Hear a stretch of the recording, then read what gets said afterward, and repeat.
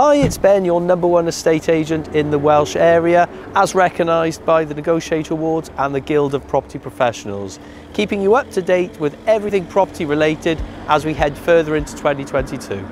Whilst house prices continue to increase, there is a clear indication that the huge rises in 2021 are more subdued in 2022.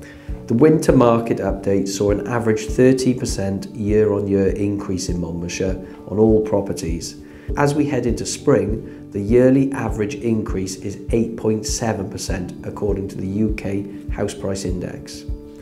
Detached homes have seen the highest percentage increase at 10.3%, an increase from 434,000 to an average of 479,000 today.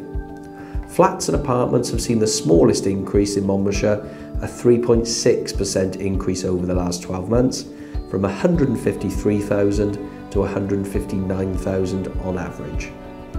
Here at Archer & Co we have seen lots of evidence of the buoyancy in the market with many properties receiving multiple offers and often selling in excess of guide price. One of the main factors involved in the spiralling house prices is simply the lack of stock. Evidence not just in Monmouthshire but a common theme across the UK.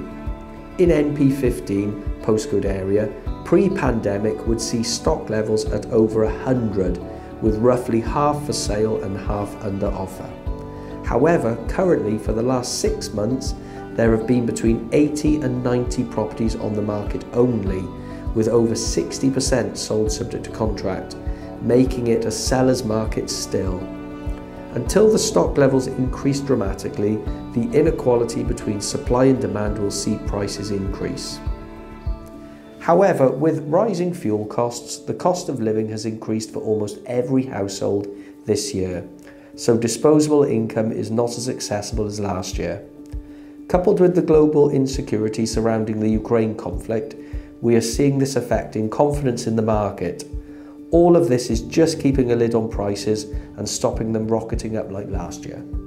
So as 2022 progresses, Archer & Co are looking at cementing their position as the number one agent in the area. If you have any queries at all, please feel free to give me a call in the office and speak to myself or one of my experienced team.